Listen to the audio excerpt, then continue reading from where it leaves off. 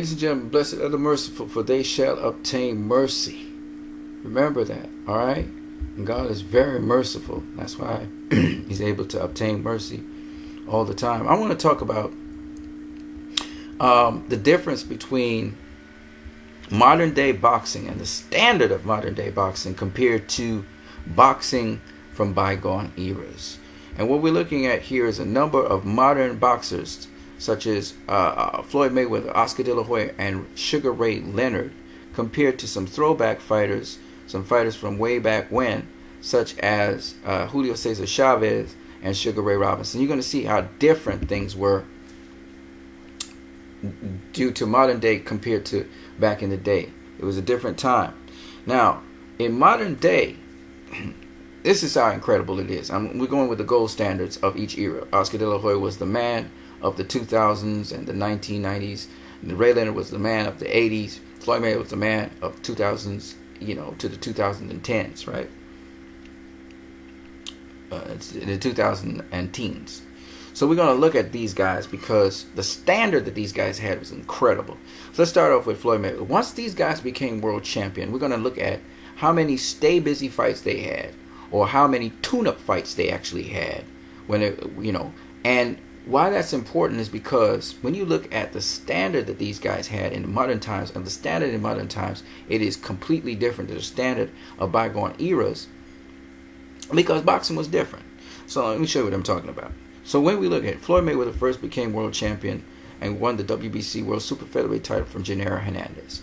From this time forward, if it, there's any title fights going on, you know those are not stay busy fights. They're just not. Or tune-up fights. However, if it's a non-title fight, what you got to do, and we're going to scroll up to demonstrate. So here I'm, I'm scrolling up until I see a non-title fight. All of these are title fights. This is a non-title fight. Emmanuel Augustus, right? When you meet a non-title fight, now what you got to figure out is, is this a tune-up fight? Is this a stay busy fight? And um, is was it really? Was it really that? So Emmanuel Augustus, uh, is this person like just somebody for the the boxer to just kind of get their rust off and their skills uh, just tune up for another fight. Now, if it's not that, if it wasn't that, it was actually a good competitive fight, as this fight indicates. He went nine rounds with this guy, so it was a good competitive fight. The person wasn't dispatched immediately, which was, would be a tune-up fight or a stay busy fight. Um, then it means that this fight was worth the while. Now, besides that, the fight going a, a longer distance, and also that the fight you know, may also be something that uh, when you look at the, the, the boxer's record, maybe it indicates, okay, this person's not on par with the other guy. They're just a tune-up fight, like a sparring session or whatever, to stop this guy quick. Besides the length of the fight and also the boxer's credentials, you actually have to look at who that boxer faced. And that will tell you if it's a tune-up fight or stay busy fight. And I can tell you this, whereas this fight may have been a tune-up fight, Floyd fought this guy in 2000, I believe it is. Yeah, there it is. He fought. Uh, he fought. Uh, he fought. What's the guy's name? Emmanuel Augustus. He fought Emmanuel Augustus in 2000.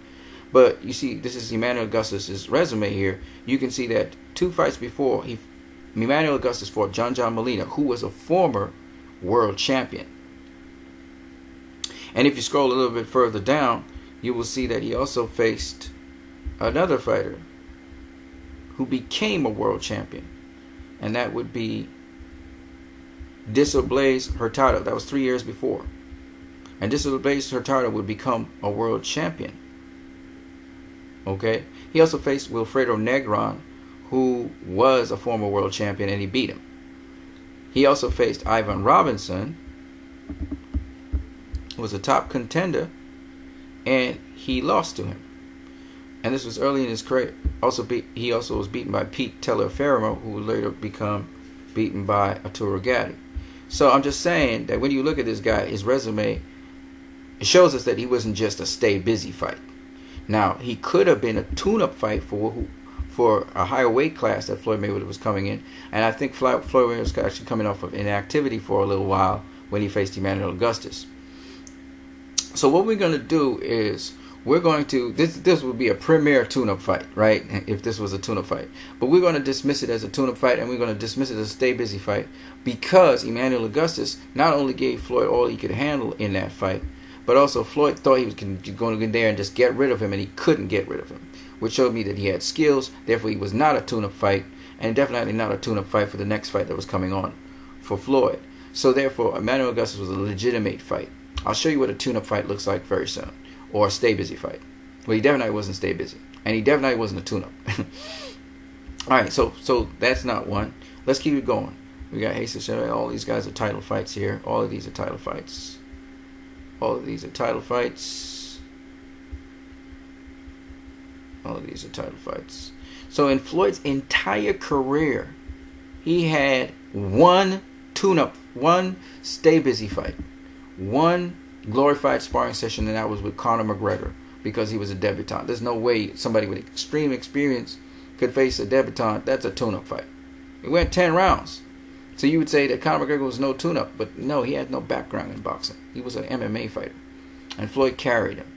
All right, his fight with uh, Emmanuel Augustus Floyd will tell you was one of his toughest fights in his career because he was trying to stop that dude, and the dude just kept coming and bringing it.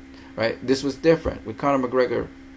He carried him and then stopped him. So this is different. This is definitely a tune-up fight because this dude is a debutante. All right, there's no way this ain't a tune-up, uh, uh, stay busy fight. Not even a tune-up fight. It's a stay busy fight. Okay, so out of Floyd's entire career as world champion, he had one stay busy fight. That is ridiculous. Okay, let's look at Oscar De La Hoya. Oscar De La Hoya became world champion back in 19. In 1994 against Jimmy Bredahl. Okay, he became the WBO super featherweight champion. Uh, so he had all these championship fights. He, he he had one fight at super featherweight, then he went up to lightweight and he faced Jorge Paez, beat him, and all of these guys are contenders and stuff. He unified with the IBF title with Rafael Ruiz. And then he had a fight against Daryl Tyson. Daryl Tyson. Okay, KO'd him in the second round.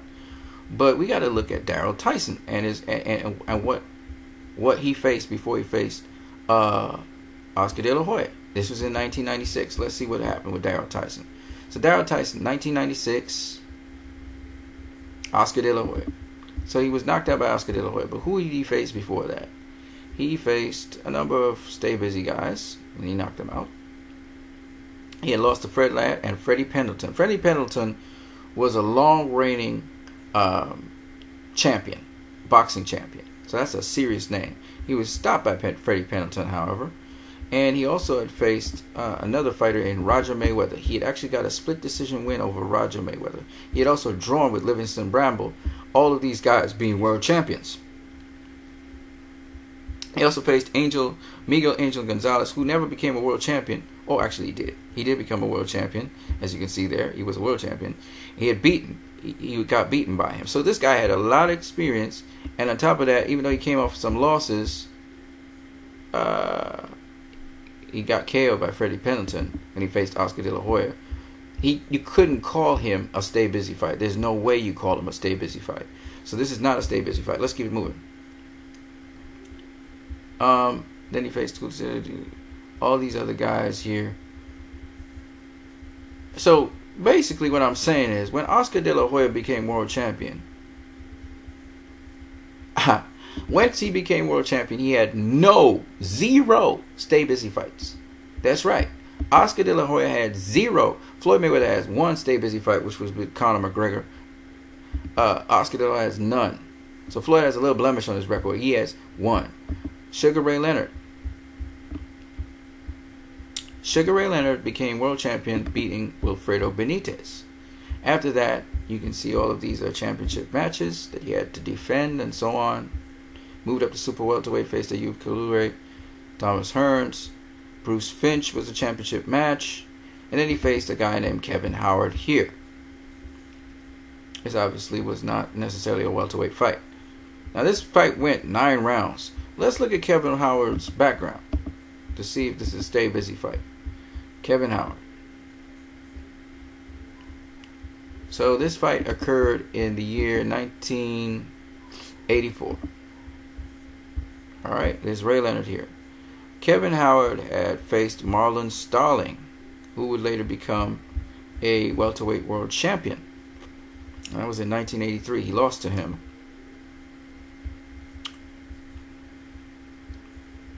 Other than he not really he didn't face any of the known names.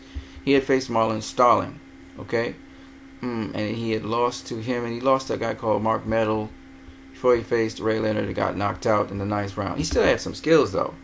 He still had some skills. Yeah, and he actually faced Simon Brown later on in his career too and got knocked out. So he was he, he had been a top contender. No, he had not. Had he ever fought for a championship? Besides Ray Leonard? Uh, he never fought for a championship. Tough. Okay, so but he you can't consider Kevin Howard a stay busy fight. You can't. You can't. I'm gonna show you all what a stay busy fight is. So that's not a stay busy fight. He then fought Marvin Hagler, Donnie Lalonde, Thomas Hearns, Roberto Duran, Terry Norris, and Hector Camacho. This dude had no stay busy fights in his career. So Ray Leonard, Oscar De La Hoya had no stay busy fights. Once they became world champion, they had no stay busy fights in their career. And Floyd Mayweather Jr also would have had no stay busy fights in his career were it not for were it not for Conor McGregor. He's got one. Okay? Now let's look at these guys. This is a different era. This is before Oscar's era, before uh, this is actually in between. This Julio Cesar Chavez is actually between Ray Leonard and Oscar's career.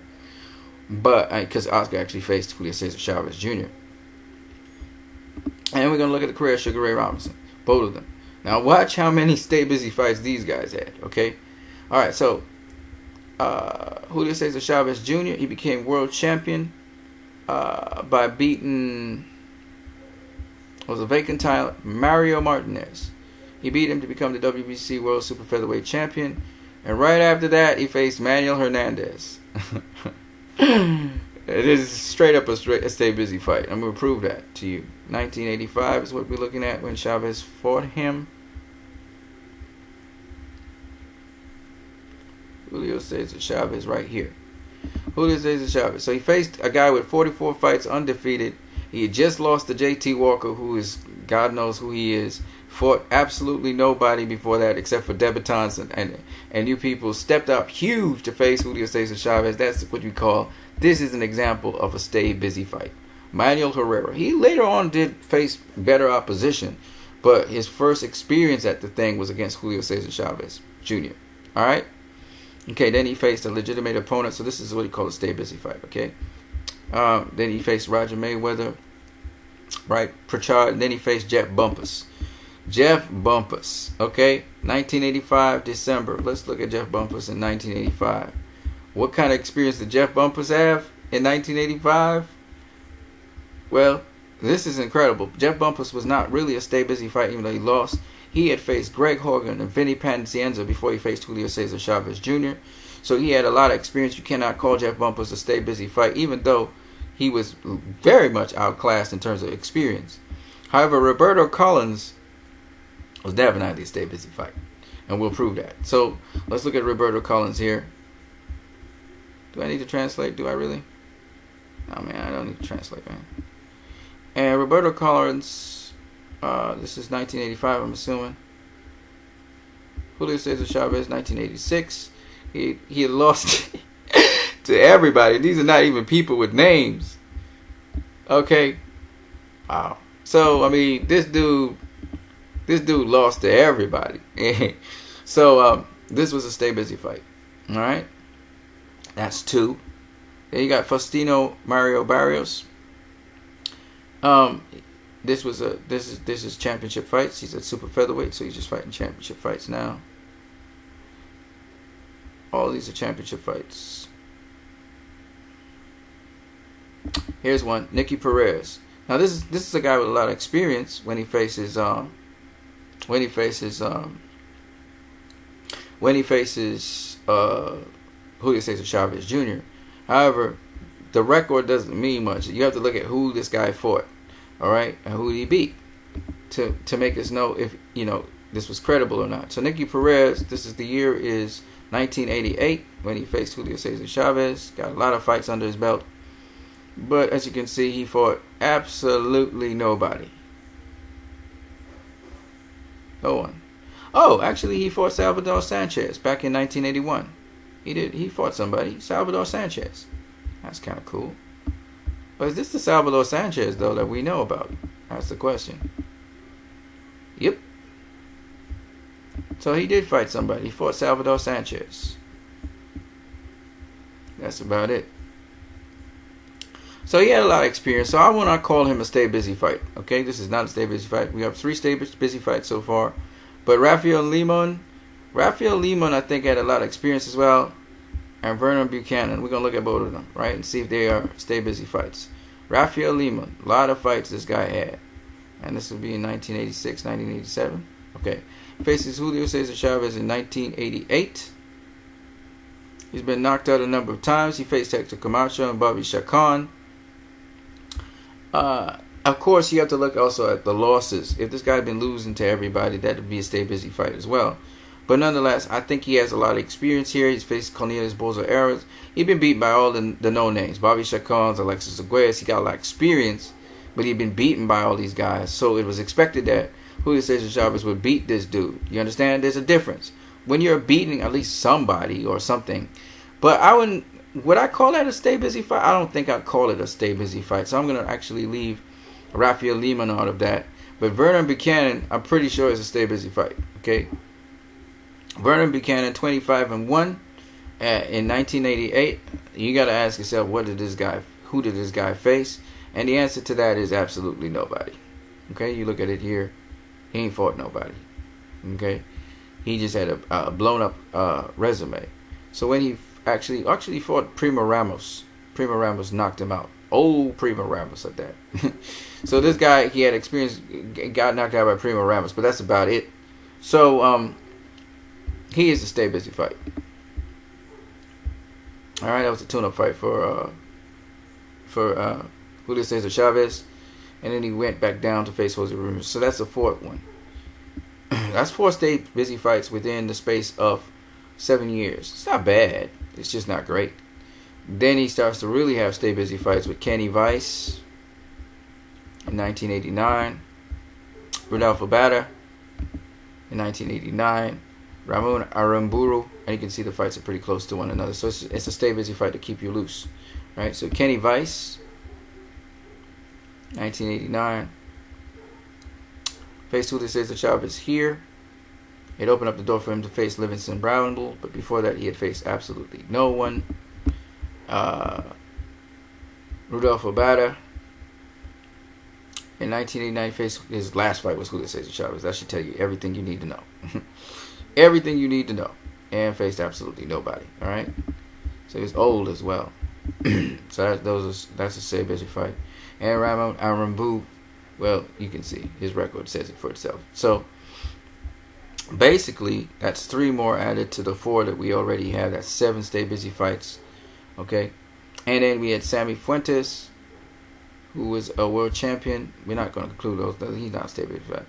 Hey, Meldrick Taylor, and then he, he faced Aki Akui Ado. This is a stay busy fight. Russell Mosley, that's another stay busy fight. And Jaime Balboa. I don't know for Jaime Balboa. He looks like he has a lot of fights, a lot of experience. Could have been because he's in Mexico. Let me see what the year what year was that? Uh, 1990. So you know, Julio Cesar was just trying to stay active. That's what that's the key with these stay busy fights.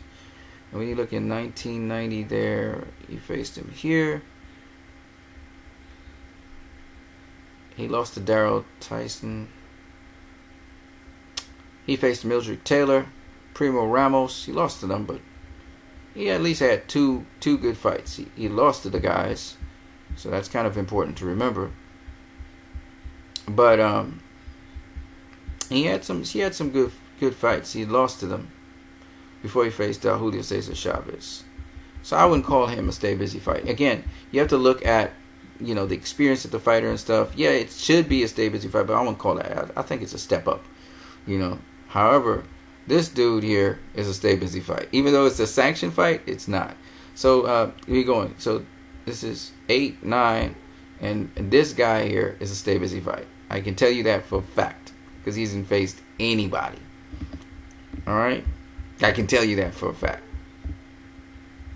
In fact, his last fight was Julio Cesar Chavez.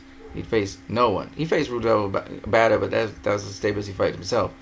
So this guy hadn't faced anybody when he faced uh, Julio Cesar Chavez. Okay, then you got John Du Plessis. That was cool.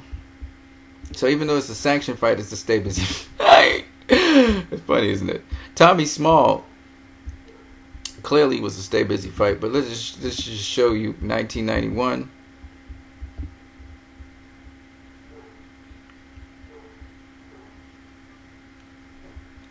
He had faced Sean Miller, Robert Smith, uh, nobody, nobody, nobody. He got no experience to face anybody. So, yeah, obviously he gets blown away. All right, so this is number 11. Okay, uh, this guy's good. Then you got Jorge Alberto Milian from Mexico City. Ignatius Perdomo. This is a stay busy fight, period. And then Juan Subranis. We're going to look at Subranis. And Piermo there for his 12. All right. Milian. He faces Julio Cesar Chavez where in his career? Here in 1991. Okay. And he had faced Miguel, not Miguel Angel Gonzalez, no. Oh, this definitely a stay busy fight. Yeah. Yeah. Yep. So Jorge Alberto Milian, even though he had a lot of fights, it was a stay busy fight. And Juan Subranis, 1991. Juan Subranis. Okay, he, he had just faced Miguel Angel Gonzalez. He had gotten knocked out by him. Um, boy, he got beaten by some folk. Oh, he got beaten by everybody. He was like a beating rag. Now I would pretty much call him a stay busy fight because he got beaten by everybody. He's like Ryan the Mill and got beaten by everybody. But I'm gonna let it be. I'm gonna let him be. I'll, I'll give him a pass. So uh, Subranis gets a pass, but these two no. So we are at 13 stay busy fights. Okay, and then he fought some good fights, and then again it goes back to the stay busy fights. Clearly, this is a stay busy fight. I can tell you right now, Marty Jakubowski he was a stay busy fight. So that's 15. And he faced Greg Haugen. then he had another stay busy fight with Silvio Walter Rojas at 16. And he faced Terrence Alli, Pernell Whitaker. Then he faced Mike Powell, which is 17. Then he had Andy Holligan, Frankie Randall, Meldrick Taylor, Tommy Lo- Tiger Lopez. You know, all of these fights are good. Then Greg Hook, a lot of experience that experience, but this is also a stay busy fight. To be in 1995.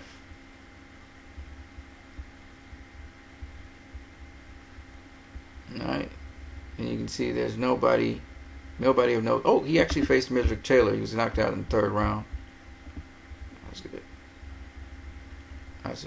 He that's about it. That's all the names there. So yeah, this is a stay busy fight. Greg Hook was definitely a stay busy fight. And then we got a good fight here. And then we got a stay busy fight in Scott Walker. Or is it a tune-up fight for for for for for welterweight? Is it tune-up? Scott Walker. Um, no. Scott Walker, 1996. Before he faced Oscar De La Hoya, guess he needed to look sensational, so it was like a showcase fight. Because this guy got no experience with any top level opponents. So it's probably a showcase fight to make him look good. So he sparked out, the, he sparked the daylights out of Scott Walker, which is another one that's uh, I don't know, that's 18. Stay busy fights. Then you got Oscar De La Hoya. He fought little Joey Camacho. It's okay, it's cool. And then he fought Tony Martin. I don't know Tony Martin. I don't know who this guy is. So it must have been just a, a, a rebound fight, like a stay busy fight, but a rebound fight.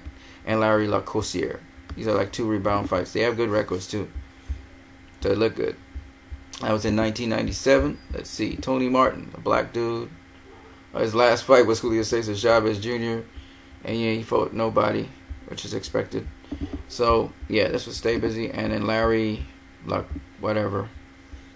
And uh, actually got Hector Camacho. That's cool.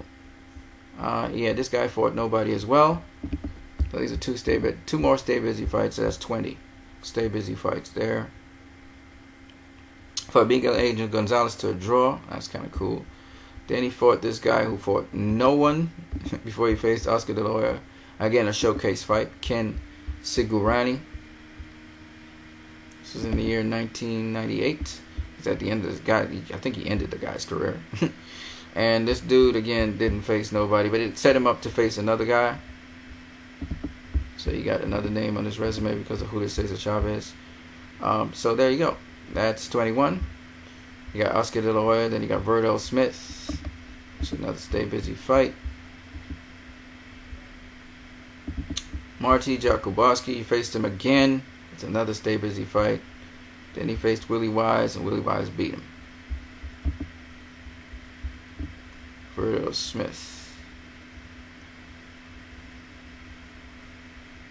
Wow, this dude, this dude got a wacky profile. He actually got to fight Carlos Manuel Baldomir and Jose Luis Castillo. This guy stuck around pretty long. Lost to Angel and Freddie. This dude lost to everybody, even Marty Jakubowski. Jesse James Lair, Leon Spinks. Anyway, Julio Cesar Chavez was in 1999. Before that, he wasn't getting any big fights. So yeah, he was a stay busy fight, as I told you. So there you go. So um, Smith, that would be 22.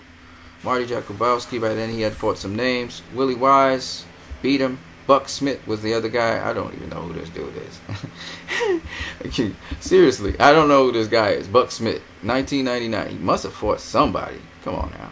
Come on now, Buck. He had so many fights. See, Buck Smith. Yeah, he fought Antonio Margarito, got knocked out. Lost the fight in his career. a whole bunch of nobodies. Okay, so Buck Smith. Buck Smith is a stay busy fight. Yeah, he fought Antonio Margarito, but he got stopped in the second round. He was a stay busy fight. All right, ain't no experience he got from a, from from a, a, a, I forgot what his name is. All right, so forget him. All right, so that's twenty three. Then he fought Kostya Tszyu, who beat him, and he had rebound fights, which would be Terry Thomas, he faced Willie Wise, and he actually knocked out Willie Wise. He got his vengeance on Willie Wise. Willie Wise was supposed to be a stay busy fight. That turned out bad. so anyway, Terry Thomas. Terry Thomas. Julio Cesar Chavez Jr. Besides him, ah, he actually faced the Roberto Duran. Got stretched out, but I mean, is what it is. Why are you drawing with Reggie Strickland? Reggie Strickland. oh my God. So again, this guy is a stay busy fight, right? He's just in there to get knocked out, and he gets knocked out by people. I mean, Duran had him as a stay busy fight. Okay. All right. So anyway, uh, yeah. So Terry Thomas, stay busy fight. That's 24, and all these other guys are good. All of these other guys are good. So there you go. He had 24 stay busy fights. That's a lot of stay busy fights, you know. And so, of his 107 wins, or I think he won, you got to take away 24 of those, which leaves you with 83 wins. That's still a lot of wins, but those fights as world champion, we're not even taking away his preparation fights, which were 40 something fights. Would you take away that? suddenly that 83 fights or 84 fights turns out to be 40 something fights. All right. And we don't talk about rematches, which he shouldn't have had to start with. That's another one. So, and then some of the sanction fights, which the guys were really, really not on this level. So we haven't even talked about that. But the point is, when you start to boil down, when you start to take off, you start to chip away at all those fights, now, when you streamline it to the fights that count, you'll find out that that's what Oscar De La Hoya, Floyd Mayweather, and Sugar Ray Leonard did. They fought the fights that count.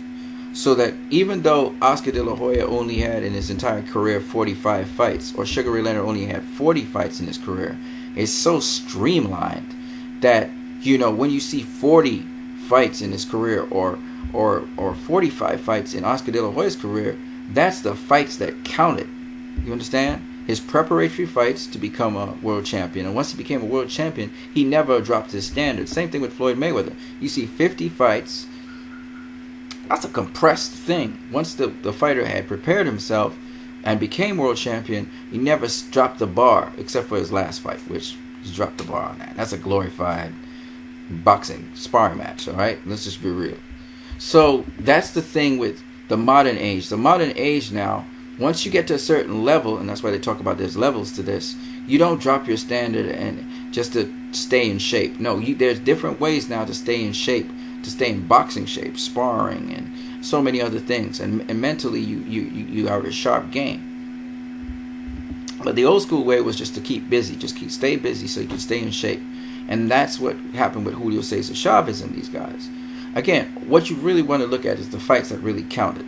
So for these guys that got tremendous records, I mean, this guy got 115 bouts, right?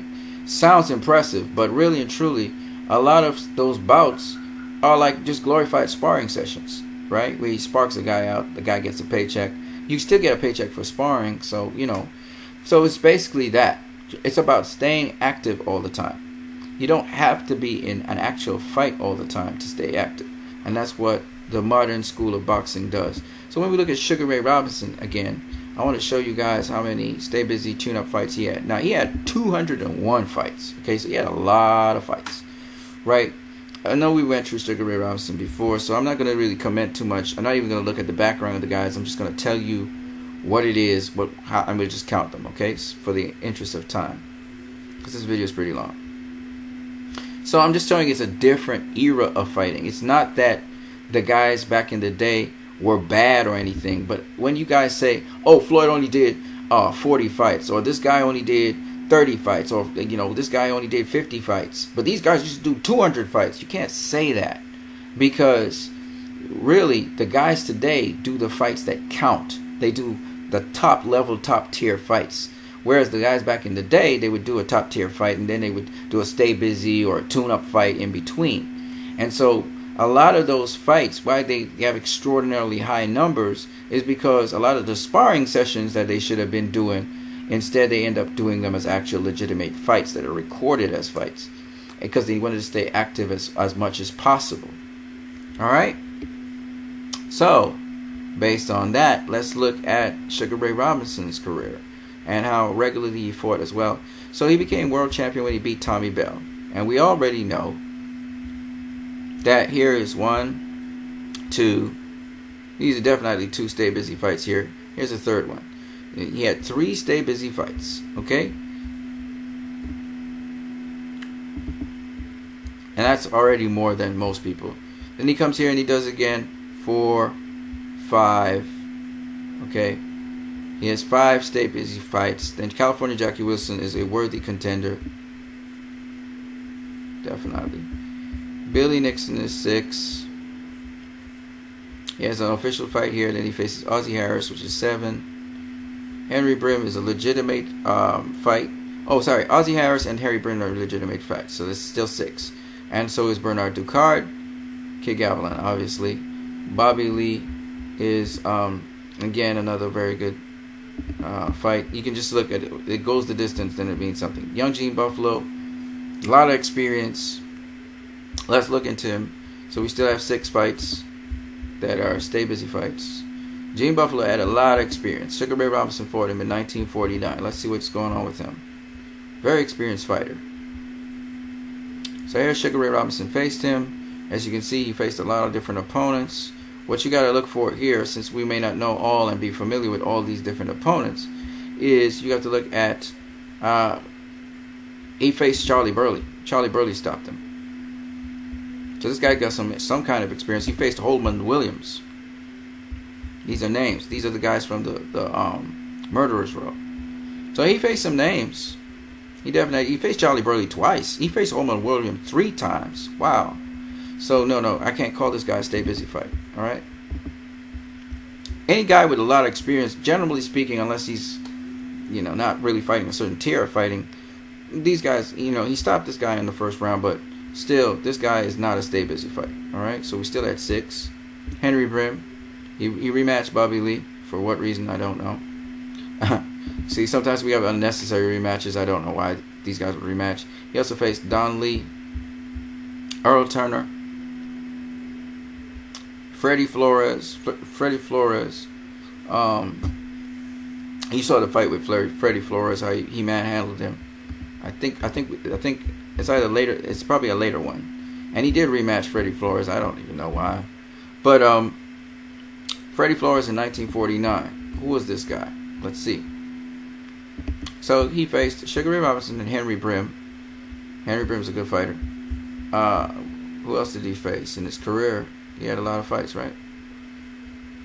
He faced, I guess, Jake LaMotta's brother, Joey LaMotta, and he beat him. Not that it means anything. He, fe- he beat Artie Levine, who was once a, a, former world champion. Oh, he also faced Sugar Ray Robinson before and got knocked out. Oh, so Sh- this is a stay busy fight because Sugar Ray Robinson had beaten this guy already. This is an unnecessary fight. Shouldn't have faced him. Freddie Flores is a stay busy fight. That's that's that's seven. Cecil Hudson a lot of experience. Don't know if he was really on Sugar Ray Robinson's level. So it could have been a stay busy fight. Maybe not. I don't know. Let's see. Uh, Sugar Ray Robinson against Cecil Hudson. This was in 1949 as well. This dude fought all the way to 1962. That's crazy. Anyway, he had been on a tremendous losing streak. He had actually beaten Jake LaMotta and Tommy Bell. So you can't really count him out. You can't call him a step over. So this is not a stay busy fight. Okay, so we're still at seven. Um, Steve Belloise was not somebody you can just run over like that. So no, Benny Evans, Benny Evans, and Charlie Dodson. I don't know too much about these guys. All right, he'd already faced Don Lee, and he had a tough fight with him, and he faced him again. He had another tough fight with him. That's cool. Benny Evans. Let's talk about that. Benny Evans 1949. This dude had a lot of fights in 1949, so I'm guessing this is a stay busy fight. Benny Evans. Yep, losing streak and stuff. Did fight Tommy Burns though. And he did beat Tommy Burns once. I don't know why I'm saying that. I don't even know who Tommy Burns is. So basically, this is stay busy fight. This is what it was. Charlie Dodson. That's eight or seven, I can't remember. Eight? Yeah, this dude. Yep. Another stay busy fight. So Charlie Dodson and uh, Benny Evans will stay busy fights. That's nine.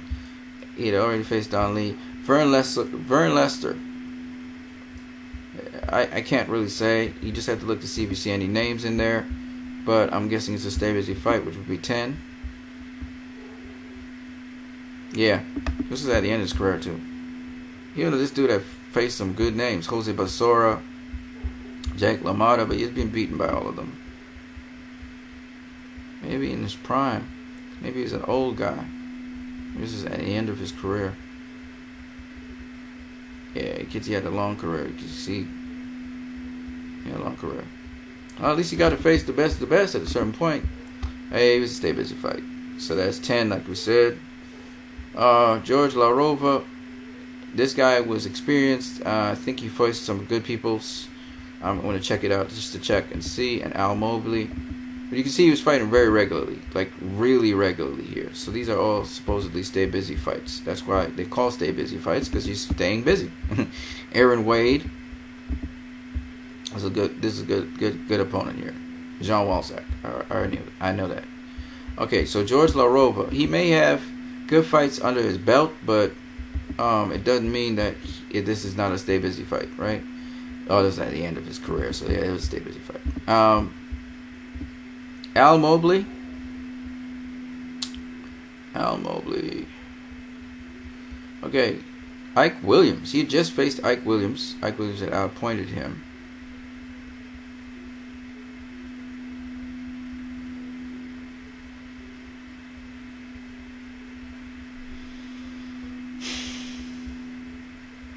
This is what I can tell you. This is what I'm gonna tell you. Because he was just on a losing streak, he lose to everybody. I gotta call it a stay busy fight, which would be 13. Oh, what, what, what where are we at? 11, 12? Yeah, 13, 14? 14? That's 14. Johnny Dudley was probably a stay busy. Yeah, he was. At the end of his career, right? So he was a stay busy fight. And Aaron Wade looked like a good fighter. Little Tiger Wade, he was called. But it was his last. it was the last fight of his career. So he was an old dude. So that was a stay busy fight as well. Okay, pity. So at the end of the day, these are old guys, right? Uh, these were all stay busy fights, which means we're looking at what where where are we at? I can't remember. I think 13, 14, 15. Okay. George Costner, I think he faced him before he, he dropped him. That was a good win. Cliff Beckett. Cliff Beckett was Cliff Beckett. A, I know he was a name, or at least people think so. But was, was Cliff Beckett uh, a stay busy fight? I don't know. It was his last fight, so yes. He'd been knocked out by everybody. oh man, yeah, it was, it was. So that's uh, what is that? That's 16. Ray Barnes held a good account of himself. Robert Villemain was a good fighter. Charlie Fusari was a good fighter. That was a world type event right there. We have Billy Brown. Billy Brown is experienced fighter. I don't know how good he was. Joe Rindone, let's see. That was in 1950. This is just before facing Bobo Olson. Um, that was his last fight, so go figure. um, that was a stay busy fight. So that's what 17. You got Bobo Olson, you got Bobby Dykes. These guys are not stay busy fights. I can tell you that. Um, Jean Stock. Was in Paris. The fight was stopped pretty early. Luke Van Dam, John Walczak, Robert Villemain, Hans Stretz. That's a good fighter. Hand stretch? No, hang, hold on. Hand stretch? No. I don't know what what's the deal with hand stretch. Hold on. Where are we? Hey man, what happened there? Hand stretch right here. Okay, so I don't know too much about hand stretch. This is all in 1950, by the way. So this is that's why we call them stay busy fights. He was a German guy. I think it was prematurely stopped or something. Is that right? He beat Randy Turpin though. He was a good fighter. You see, 1950, Sugar Ray Robinson stopped him in the fifth. Peter Muller had knocked him out the fight before, but he's a good fighter. I wouldn't call this a stay busy. Um, Jake LaMotta was a good fight. Holly Mims. Don Ellis. We'd, we'd seen him face Don Ellis a number of times. Kid Marcel. Uh, John Waynes. I don't know too much about John Waynes. Jean Waynes or whatever his name is. Jean De Bruyne. That was a good fight. John Walczak again. He had a lot of rematches with people he beat already. Uh, Gerald Height. Cyril Denoit. Uh, Randy Turpin beat him. Bobo Olson. Rocky Graziano, Joey Maxson. Joe Rindone again. It's a stay busy fight. So that's 17. Tella Ola. It's probably 18.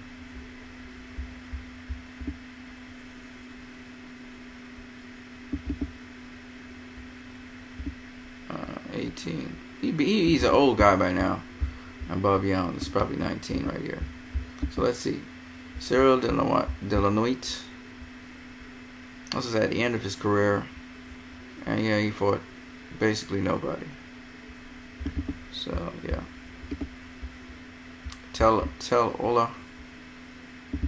Yeah. And Young, Bob Young.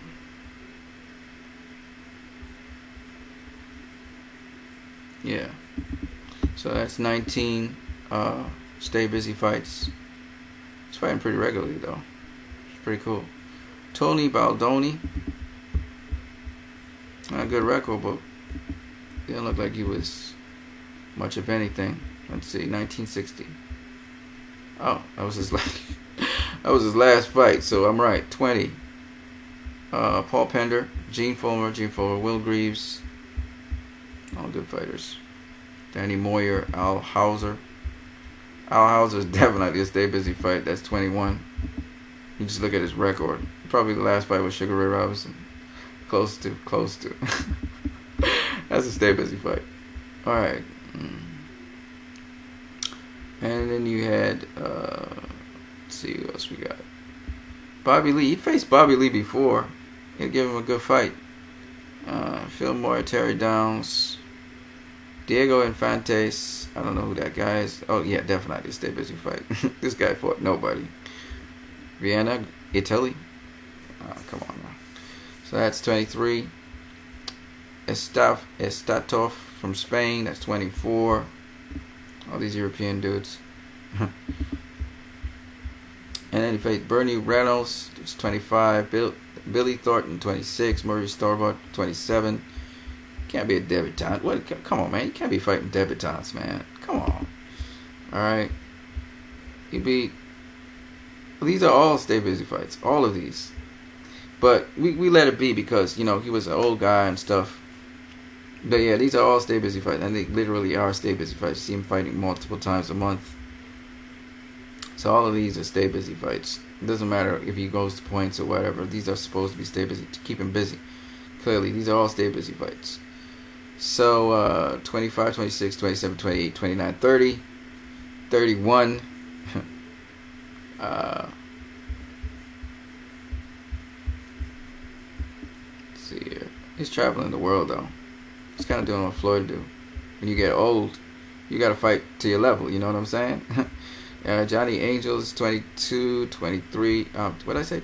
I don't even know. 25. What did I say? 25, 26, 27, 28, 29, 30, uh, 31, 32. This guy got a lot of experience, so I'll let him go. 33. He actually lost to that guy. That should have been a stay busy fight, dude. Uh, 33. 34, 35, uh, 36, 37. He had 37 stay busy fights. Probably more than that. Who cares? He had rematches and stuff. So out of the 201 fights, you got 163 of them that actually, uh, you know, you, you minus you're also becoming a world champion, which is like 40 something fights, just like Julio Cesar Chavez you minus that, which you end up is like 122 of them. That's still a sizable number. 120 something of them being, you know, not stay busy fights. And then you have to look at the fact that he had some rematches which were just totally unnecessary. So you take away all of that, it's, the numbers start to shrink down.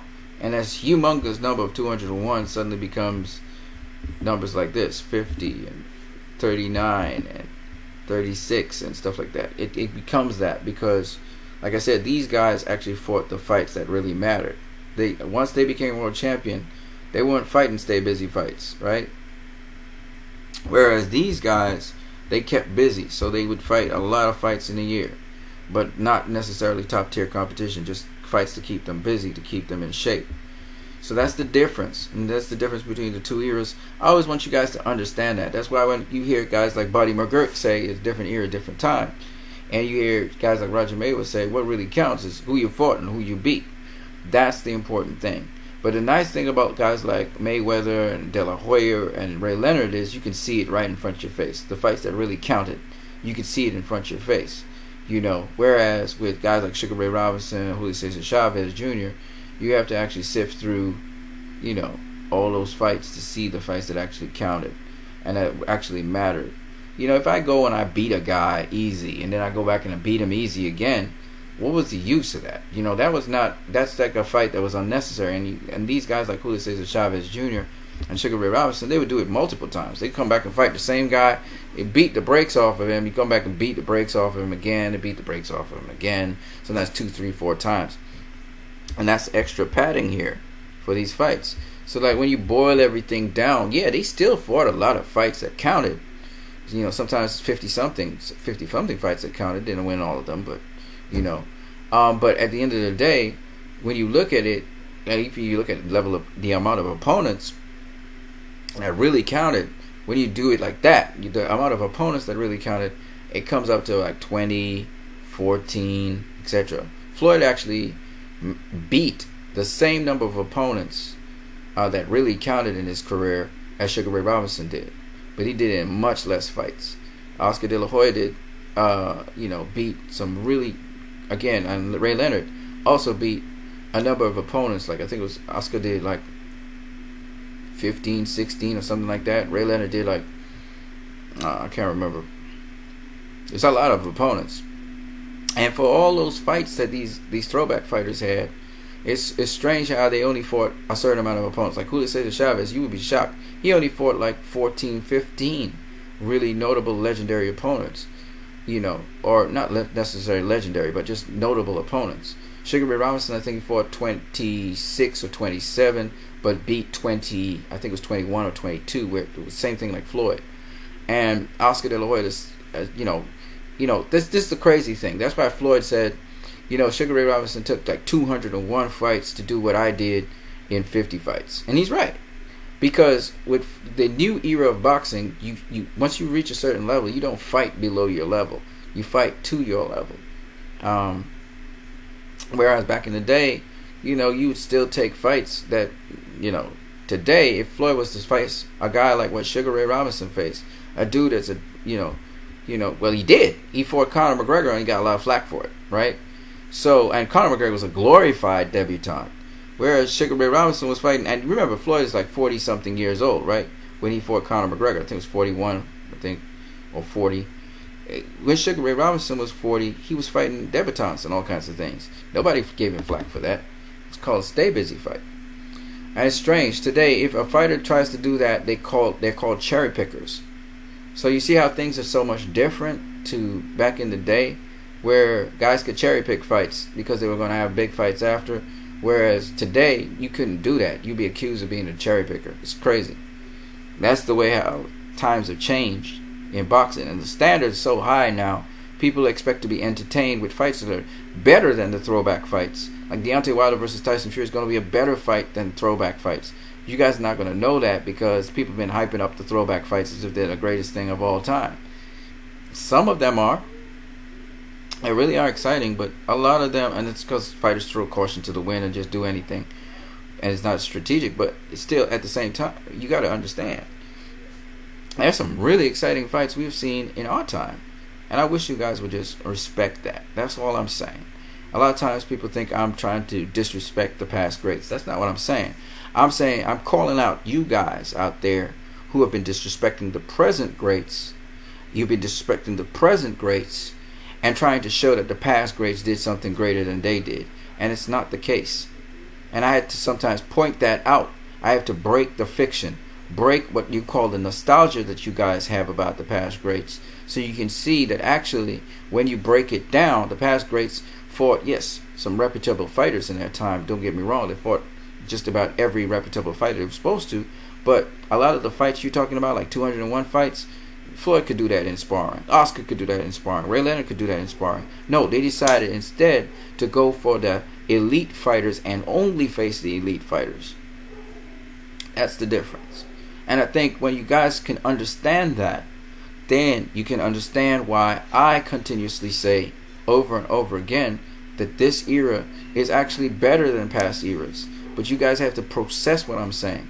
Yes, there are some things that have been lost in the sport of boxing certain defensive maneuvers, certain offensive maneuvers.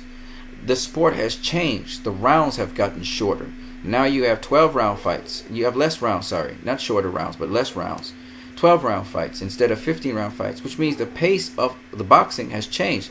Even the longer game is faster. If you have shorter amounts of rounds, it means you can move faster. You can gauge yourself. You can actually fight faster. So the amateurs, guys go at faster speeds in their three round fights than guys who are going 12 round fights. Like guys are going 15 round fights. Like the real throwback fighters who had unlimited amount of fights. There was a lot of clinching. The action was not always as active. if You would have see a real throwback fight from the 1920s, 1930s, etc. Dudes not being doing much. They be clinching a lot. You know, I keep on telling people boxing has evolved so much now that it's much more athletic than it used to be. And guys would quarrel with me, Ezzard Charles, look at how he moved and stuff. I was like, no, he don't compare to a Shawn Porter. We bring a Shawn Porter in the room against Ezzard Charles, he, he'd be out active, he'd be out punching him, he'd be more active than Ezzard Charles could ever be. I, I'm just saying, you guys just look and you guys I don't know why people are so caught up in nostalgia, man. To see, just open your eyes turn off the blinders and just stop being so nostalgic for the past. I keep on telling people boxers have gotten stronger, they got bigger, they got faster, they got sharper, the game's more technical, the game's more uh, of a chess match today than it used to be, a faster chess match game because the, the boxing boxing pace has gotten faster.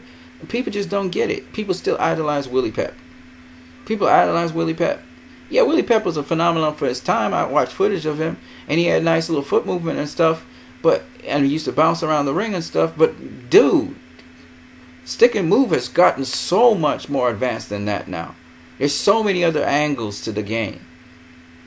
Yeah, the fundamentals of the game is still there, but it's so much more to boxing. You know, the high guard, the peekaboo stance, you know, the, the half guard, the wide stance. I mean, there's so much more going on in boxing that has happened and like people still stuck up in that nostalgia. It's really annoying to me when I hear somebody who said they seen Sugar Ray Robinson moving around the ring and how he was a joy to behold. Yet he never used the high guard stance. He never once used a high guard stance. He's limited. And we see it with Shane Mosley. You counter you could hit Sugar Ray Robinson with an overhand right any day, all day, every day. He get caught with an overhand right any day, all day, every day. And you guys can't see that. You can't see how squared up he was and how he used to take body shots all the time. Just because he was a big welterweight doesn't mean he don't get touched. And he got touched quite a lot. And then he had them crazy looping shots. And I mean, he had good timing and everything, but I mean, come on now. A small pivot, and this guy would, would, would be, you know, thrown off. He'd be thrown off with all his looping uh, body shots. Yeah, he was quick. Yeah, he was speedy. Yes, he had some nice footwork at times. Yeah, he could do a couple things. But come on, man. You guys got to grow up. I mean, it's like Wilt Chamberlain was an amazing basketball player. But today, as much as Wilt Chamberlain scored all those points, today, the, the basketball players today are much more advanced than Wilt Chamberlain is. You got to acknowledge these things. Yes, these guys were the guys that um, set the foundation for sport and elevated it. But they're not like Wilt Chamberlain. If he were to play sports today, he gets so. I mean, you have to be strong like these basketball players. You got to be able to shoot threes like this. I mean, come on, man. And that's what I'm trying to say. The sport evolves. Basketball has evolved since Michael Jordan. Everybody's talking about Michael Jordan, Michael Jordan. I mean, he was a fantastic player and everything. But there are, are players now that are bigger than him, stronger than him, taller than him, can do more things than he could do. And he was fantastic. I love to see him. Poetry in motion, but he's not the be all and end all, man. And the sport has changed as well. So we can't be so nostalgic that we only moaning and groaning for the past. We have to be able to shift with the times and change. That's all I'm saying. Now, pound for pound was started with Sugar Ray Robinson and also another fighter I can't remember who he is, a Harlem guy. And, and all I'm saying is that's cool. He was the founder. He was the guy that inspired people to say pound for pound. But to say he is the pound for pound number one fighter in the world to this day, no, he's not.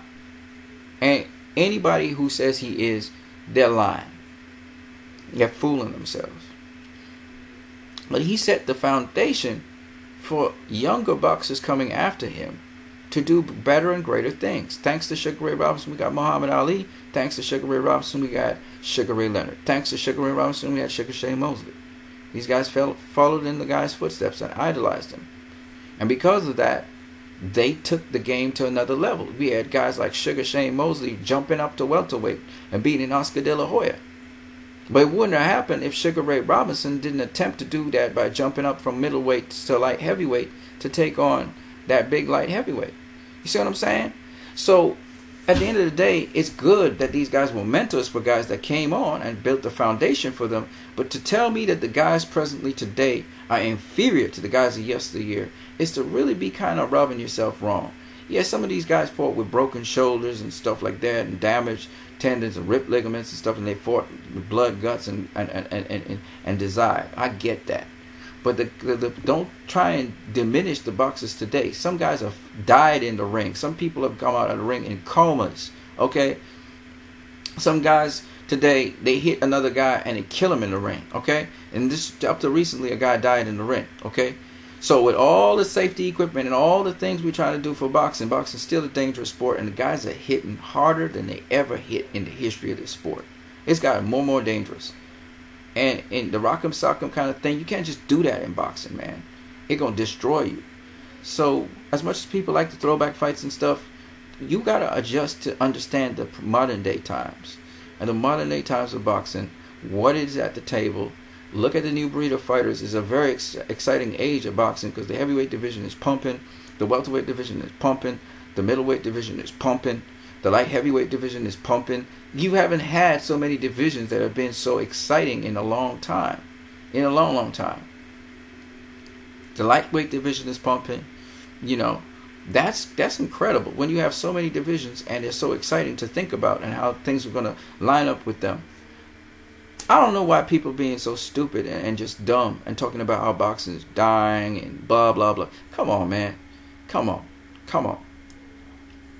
So that's what I got to say for now.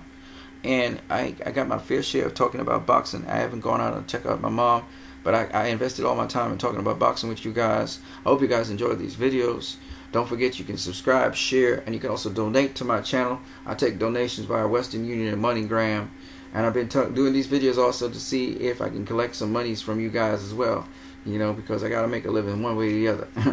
so do understand that. I hope you guys respect these videos. I think a lot of people watch my videos but you know what's the sad thing is that sometimes people are just ungrateful. They take your stuff, move with it, claim it as their own, and move on. You know what I'm saying? It's sad because I try to bring something special to the game. I try to bring some understanding of what's going on in the game. I myself don't box, but I try to be an educated person who's viewing boxing. That's what I try to do. And I try to add my little flavor to the game. Let people know what's up with this game of boxing. You know what I'm saying? There's a lot to the boxing. Trust me. You if you if you even tried to box once in your life, you realize how much work it, you have to put in. You have to be dedicated to this sport, and there's so many different ways to fall short and get shafted in the sport of boxing. This is one of the toughest sports in the world. It's called a sport, like Deontay Wilder said, it's not really a sport, but it is a sport at the same time, and um, it's one of the top level, top tier combat sports in the world. It's just what it is because it's specialized in hand combat hand to hand combat. You know, and a lot of things go into it. A lot of work goes into it. A lot of years and training goes into it. You probably never stop learning when you're in the sport of boxing. So that's what I like about it. That's the thing that gets me about boxing is it's counterintuitive. Thanks to guys like um, I forgot what his name is. He was a trainer. I think I'm subscribed to him. Barry Robinson. Barry Robinson's Million Styles Boxing opened my mind to what the sport of boxing is and how counterintuitive it is. It reminded me of when I was doing martial arts. I was doing um, um, uh, Shito-ryu, and it's so counterintuitive. The stances and everything are counterintuitive, and boxing is counterintuitive. And a lot of you fans don't know what you're talking about. You really don't. You don't know what you're talking about when you're talking about boxing, and it's sad because you guys get caught up on power and strength and all the other unnecessary things that have nothing to do with combat. Like combat has to do with position, angle. If I'm in position, you're not in position, you can't hurt me. I'm in position to take you out. You can't not touch me. And that's something you guys need to understand. It's about the angles in the ring. Not only with your hands, but also with your feet, your foot positioning. Footwork is like everything in boxing. You know, you heard Andre Ward talk about footwork. It's how you conduct your footwork. Some people bounce around the ring, some people shuffle around the ring, some people pivot around the ring. Some people uh, step around the ring. There's there are different ways to move. Some people glide, slide through. There are different ways to move in the ring. That's what makes boxing so much fun to me. And it's like a chess. It's like there's so many different moves you can make, so many different things you can do in that ring, and how you move. You know, you can move, you know, straight up. You can move uh, in a crouch position. You can move by dipping, swinging, rolling, splitting, bobbing, weaving, snapping back, uh, you know, uh, dipping. There's so many different ways to move your body. And then there's so many ways to move your upper body versus your lower body. And it that can get can involve feinting, it can involve jabbing, it can involve punching, it can be involve uh, you know moving out the way uh, of, of shots. I mean, blocking. I mean, it, it's just so much to the sport of boxing in terms of movement. It's like a dance, but it's like you have to know all the ingredients for the dance, and then you have to use the appropriate dance for the opponent you're facing. It's it's it's such a, a elaborate art, man. And that's the thing that I don't understand how all you people out there can't get and understand how much boxing is as a sport is it's it's it's it's it's, got so much stuff going on in it. You know? And that's why I respect uh, coach uh, uh, Eric Bradley. I really respect that man. And I refer you guys to his channel all the time because Master Boxing is an incredible channel. Now let me just say as much as Eric Bradley is teaching you certain things online on his channel you have to repeat those things over and over. And it's always good to have like a coach or somebody who's watching you to make sure you're doing it correctly because sometimes you start practicing things and you're doing them incorrectly and you, are not aware of it. Even if you look in the mirror, you think you're doing everything right, but you're not doing everything right. That's why you need a coach to actually give you the right positioning to, to how to, to, to do certain things. And so there's a lot that goes on in boxing. It's not just you just go in there and try out something. You could get yourself badly hurt. So you know, the sport of boxing, that's why you have a coach. That's why you have a trainer. Somebody with an extra eye show you how it's done. Usually you want somebody who's actually been in the business very long or someone at least who has boxed before. So they can show you exactly what it is, exactly what you're supposed to be looking for, exactly how you do it. Catching punches, you know, parrying punches, blocking punches, um, countering punches, splitting punches, etc. You have to know exactly how that's done. Eric Bradley can show you step by step, but you may need personal training and a personal coach along with him so that you you know you can do every step of the way right. Otherwise, you can get yourself badly hurt. This is not a sport where it's a game. You're not playing. This thing it can hurt you really bad. So you have to be very careful with. So that's all I got to say for now. I just wanted to share that with you guys. The difference between uh, the present time and past times, the different eras with respect to how fighters would have fought and what kind of level of competition they would fought after they become world champions. I hope you guys enjoyed this video. Subscribe, share. Don't forget to donate to my channel because when you donate to my channel, it allows me to have enough revenue to live and also to be able to do internet and stuff so that I can keep on doing videos for you guys. I do need the financial support at this time since I'm not working anywhere, just trying to help sustain my home and family. So it'll be very kind if you can make those donations. It's via Western Union or MoneyGram. Please do not uh, give me what you don't have. So if you don't have the money to do so, don't worry about it. But otherwise, feel free to donate to my channel anytime. I'm gonna collect it via MoneyGram or Western Union. Just let me know. I'll give you the details to where you need to send it, and I you can just send the money. That will really help me out as well. And I'll be able to keep my end of the deal by having the internet running and therefore be able to afford you more videos. I can't tell you what the future holds for me and for my family. It is somewhat uncertain at this point in time. So I have to take one day at a time and see how things go. I got the break today and yesterday to do these videos. I don't know how my mom's doing. I'm going to go out there and check her out and see how she's doing. I really should have been helping her out with certain things, and I just decided, man, I'm just going to spend this day talking boxing because it's kind of exciting with the Tyson Fury versus Deontay Wilder. This was a long video. If you guys made it to the end of it, thank you. Let me just close this off with something concerning Jesus. I want to sing a song. Yeah, I'm singing a song. And the song goes like this.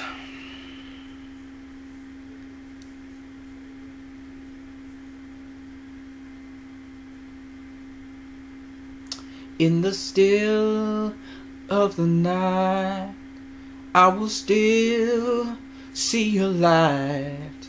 In the dark, without sight, you make blind see the light. So I thank you forevermore. Cause you're the day star that rises in our hearts, and you're the morning sun. Which your light you impart, and we're just trees lifting leaves to your sun. And we're glad that you have come, Lord Jesus. I've seen small and I've seen large return to where they came from. I've seen people who are all with possessions lose all them. I've seen high places lowered and low places elevated. So I'm grateful that you did this for us.